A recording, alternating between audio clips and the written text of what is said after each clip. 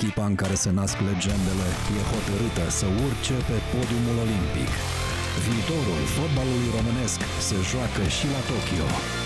Ne învinși în grupe la Euro de tineret, tricolorii încă mici luptă pentru un destin mare. Câștigăm împreună.